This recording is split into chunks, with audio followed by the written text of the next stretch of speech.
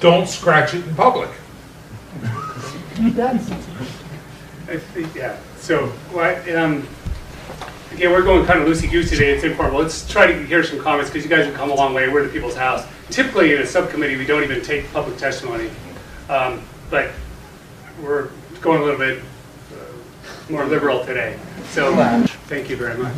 Bill, would you like to share anything with us? Um, sure, a couple of points. Bill Alleman from Weare. Um, where? South Weare or nowhere? let's, not nowhere, somewhere. We're only minutes from nowhere, though.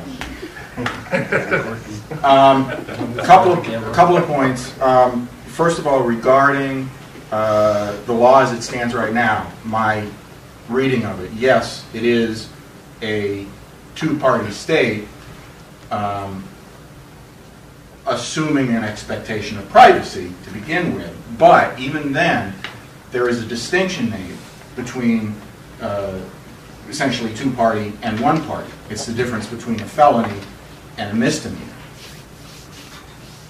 If you are a party to the conversation, it's a misdemeanor. If one party has agreed in advance, it is a misdemeanor. Except that's not what the courts are holding.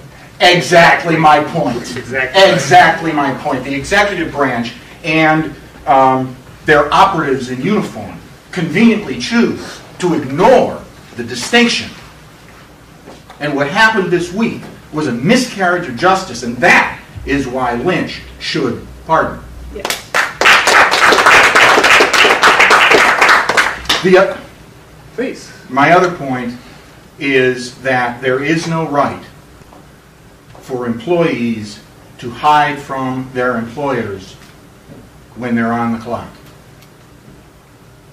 And in fact, the New Hampshire Constitution expressly states that with regard to government employees, in Part First, Article 8, at all times accountable. They can't hide. And it doesn't matter that a public school principal claims that she's not a public employee. She is paid by stolen tax dollars. She works for the people, and she's accountable to them at all times. Um, and I guess that's it. Well stated, thank you. Representative Delangus? Thank you.